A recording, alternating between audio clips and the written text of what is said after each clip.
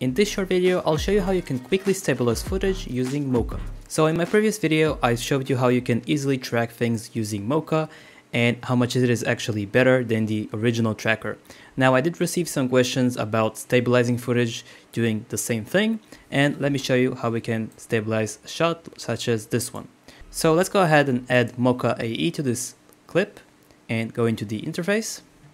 Then we'll go into the pen tool here and draw a simple shape around the rider and we'll click on track forward. Alright, so this was pretty easy. Let's go ahead and exit out and click on save.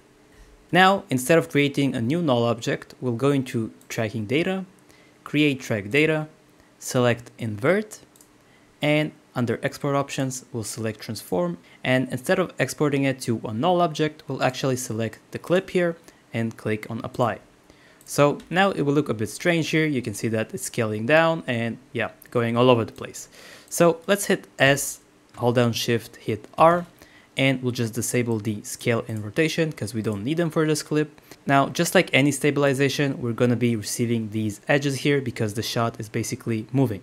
So once you track your shot, go ahead and pre-compose it. Then let's go to about here where it's mostly away from the edges and we'll simply scale up the composition and reposition it like so. So just like that, we've tracked this shot and we have more focus on the rider this way. So this is just an example. Now, obviously we can do this on a shot that is pretty stable, such as this one, with just some slight movement. So we'll do the same thing.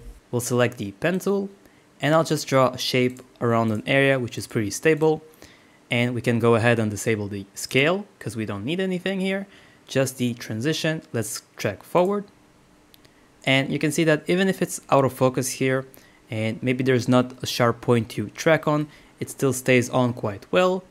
And I'm not gonna be tracking the whole shot this would be enough. Let's exit out and I'll basically be doing the exact same thing here. So invert transform and select my clip hit apply and once we play it back, you can see that the shot has stabilized. Obviously, we just need to now crop it. Let's disable the scale here.